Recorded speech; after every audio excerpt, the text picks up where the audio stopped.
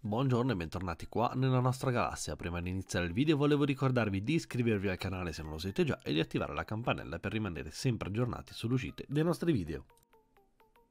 Sappiamo tutti che The Division 2 sta avendo un enorme successo grazie alla riuscita decisamente attesa e inaspettata a confronto del, del, predecessore nello sviluppo di questo secondo capitolo.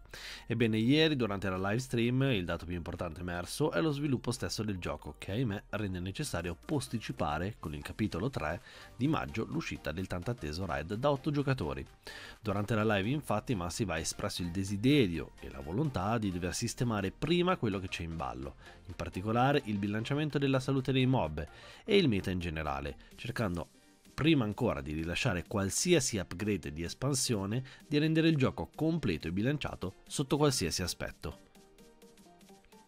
Ed ecco quindi che il raid viene rimandato a maggio, a data non ben specificata, e sul PTR dovrebbero comparire tutte quelle modifiche che Massive stessa ritiene più urgenti e importanti, e che tutti coloro che lo hanno potranno provare in anteprima.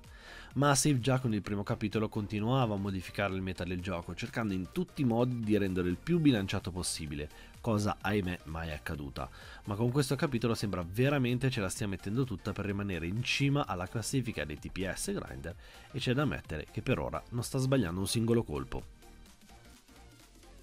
Con il PTS che potrà essere testato fino al 2 maggio, come detto in precedenza, Massive cambierà parecchie cose, buff e nerf sono dietro l'angolo e i cambiamenti tanto attesi sull'IA dei mob è già pronta per essere testata. Ma il cambiamento più immediato è la possibilità di droppare Gear 515 nella zona nera e solo nella zona nera. Questo è un test e Massive l'ha ripetuto più volte e vuole portare i giocatori, prima del rilascio del raid, proprio a quel livello di gear score.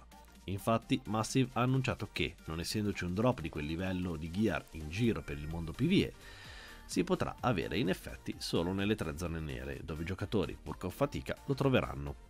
Forse anche gli eventi eroici in giro per la mappa sarebbero da portare a un drop pari al 515, ma per ora Massive vuole spingere i giocatori nelle zone nere.